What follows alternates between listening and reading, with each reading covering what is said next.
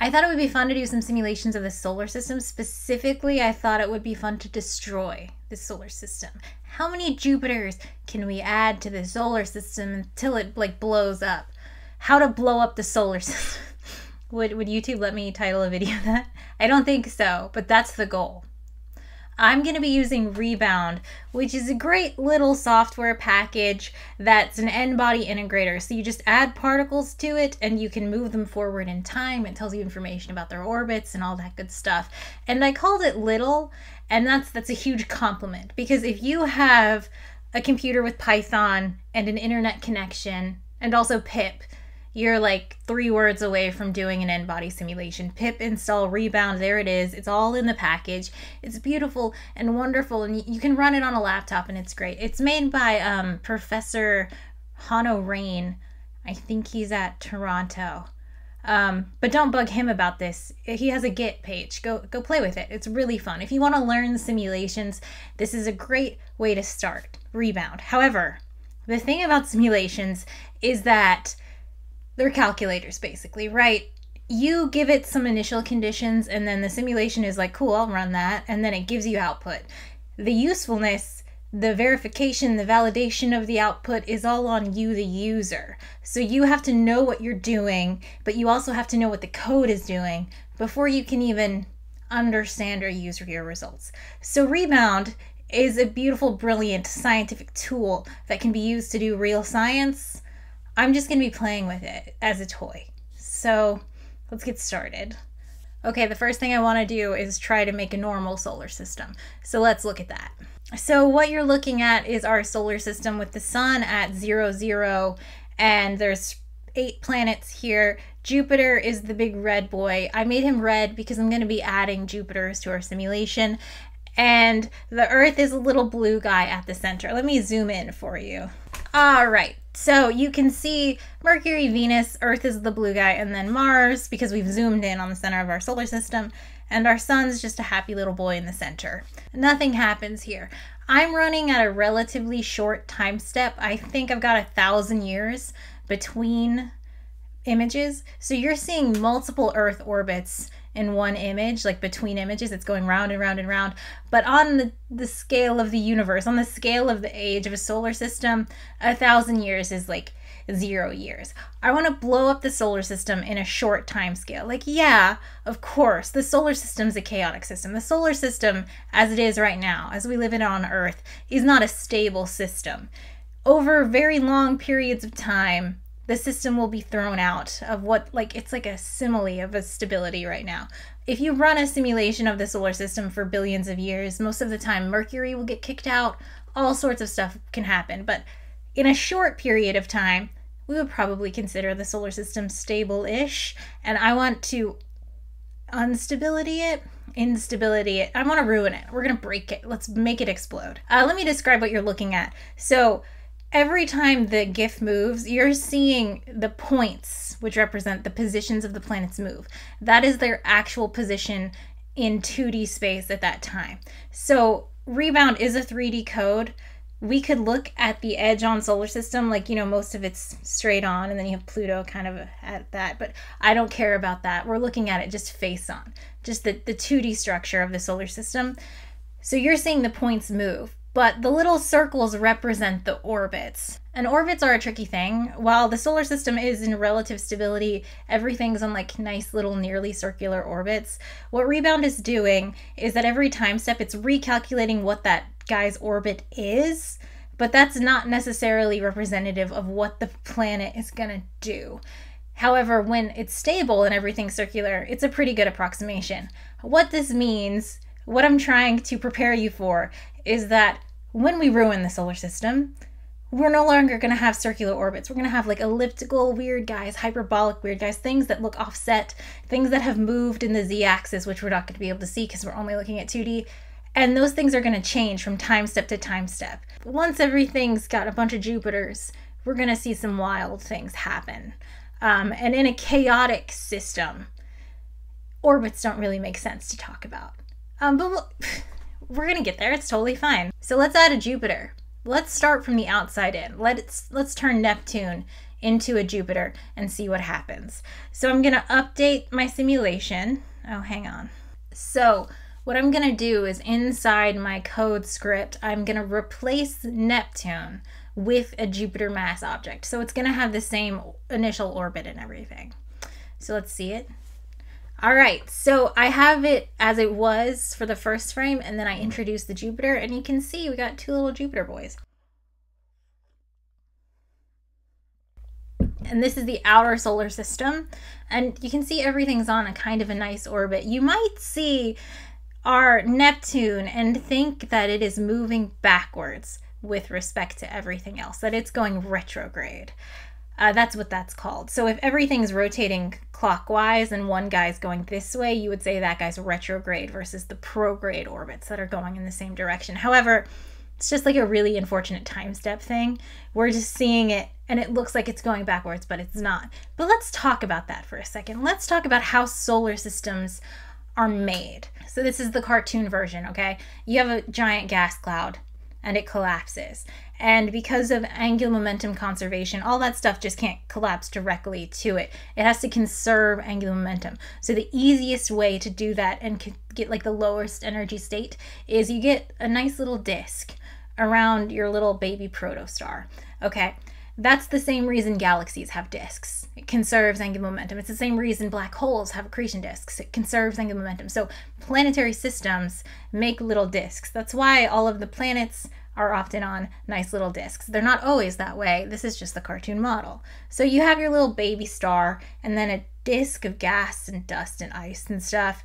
And that disk of gas and ice and stuff starts kind of clumping together and you get little baby protoplanets. And then eventually your star turns on, it starts fusing and stuff and it starts doing solar wind stuff and your little disks of like ring planets have now turned into real full-fledged planets. So everything generally in the simplest case should be orbiting the same direction. It should all be prograde because that's what the cloud was. They all came from the same cloud and collapsed with the same style of angular momentum. However, that's the simplest model but you can get a lot of interesting things. Like space is big, anything can happen. Like maybe you had a collision between two solar systems and you get a retrograde planet. Maybe there was a rogue planet that just fell in. All kinds of stuff can happen. In our case, in our solar system, it's all prograde. Let's zoom in on our two Jupiters where Neptune is a Jupiter. And at the center of our solar system, not much is going on. Everything's still vibing. Earth is still happy and fine. And that's not what we want. So let's introduce another Jupiter. We're going to turn Uranus into a Jupiter. The first thing you see is like the original solar system, and now we've got three boys. So that's what we have. We have our three Jupiter boys going around just vibing, happy as a clam, and that's not what we want. We want to destroy everything. Uh, the thing here is that you can see Jupiter and Jupiter Uranus are kind of lining up at the same time they're becoming in resonance. So I suspect if I ran this simulation for a longer time than I'm willing to, that resonance would cause some disastrous effects. So, a resonance, let me show you a GIF of Jupiter's moons. That's what resonance is. And when that happens with big, massive boys like planets, really interesting things can happen. For example, the most, for example, the leading model of solar how am I doing? Where was I? Uh, for example, I think, I think I stopped with for example. Uh, the nice model of the solar system is the leading model of how our solar system became the way that it is. So the idea is that in the very early days of the solar system, you had Mercury, Venus, Earth, and Mars on the inside, and you had five gas giants in the outer solar system Jupiter, Saturn, mystery box ice planet, Neptune, and Uranus. Okay. As the solar system was evolving, Jupiter and the mystery box started resonating. And they had a really strong resonance in such a way that it caused a collision that made the, the mystery planet that's no longer in our solar system just get kicked out. And then you had four, right? You have Jupiter, Saturn, Neptune, and Uranus. That collision caused the other planet to leave, it caused Jupiter to move a little closer and then these guys to move further away. And that collision also caused a little resonance between Neptune and Uranus, where they started like crisscrossing their orbits until eventually Neptune got kicked way out. And now it's like super near like the edge of our, well, not the edge of our, it's far away. So now you have the inside of the solar system Jupiter, Saturn, Uranus, Neptune. And that's called the NICE model. I'll try I'll try to find a gif of that simulation.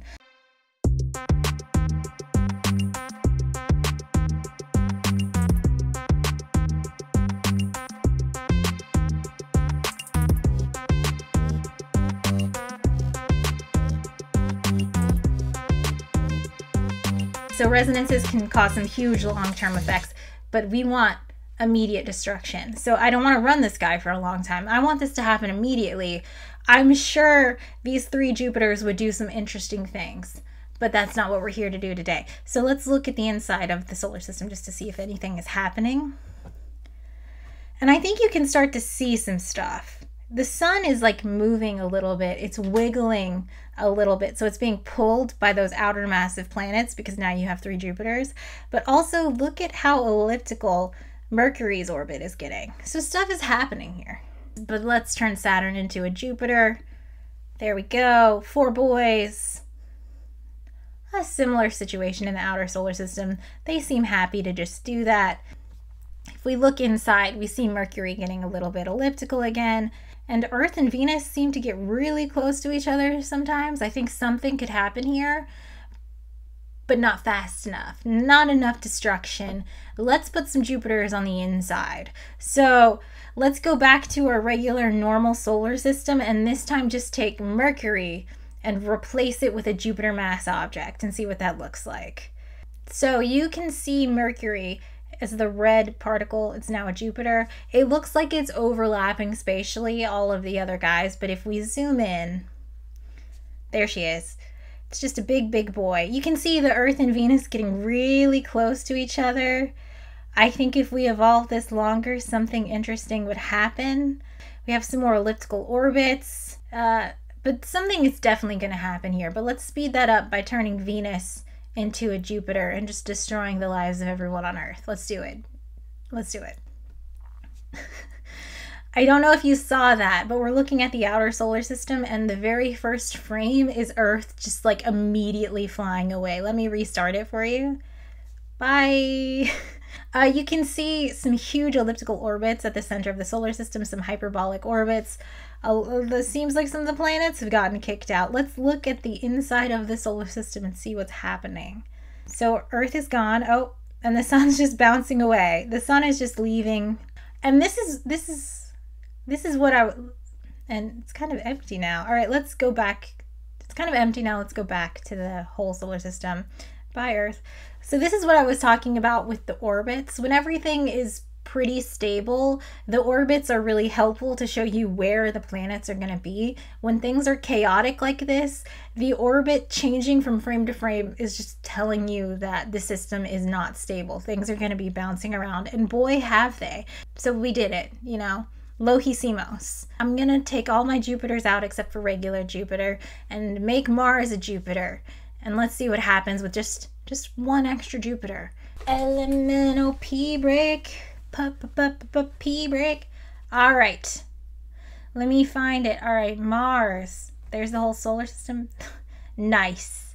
Immediately you see those chaotic orbits. We've done it. Two Jupiters, one at Mars, one at Jupiter, is enough to destroy everything. Let's look at the inner solar system. And oh wow, look, the Earth is hanging on. The Earth is pretty close to the Sun, just vibing. That's kind of fun. Mercury and Venus are gone. It's just the Earth and Jupiter fighting as the Sun is moving moving away. Bye-bye. That was it. What a successful day. What a successful video.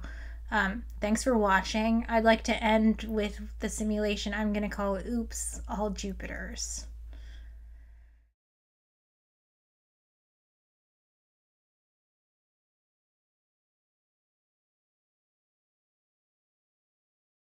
It actually seems happier than when there was just two Jupiters. Let's zoom in.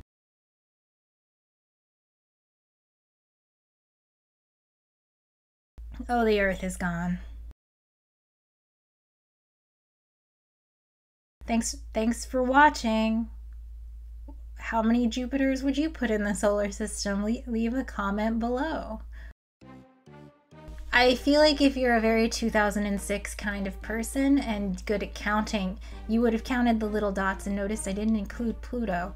Well, I have made a video on that topic, and I do think Pluto is a planet. You can watch the video here. You see, filming Angela is like, she's gonna learn how to put the little thing so people can click the box right here.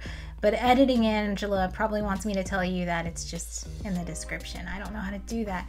But I made a video about the Pluto problem, and I do think Pluto is a planet. And so to actually end this video, here's oops all Plutos. Nothing is gonna happen because Pluto's a teeny tiny boy.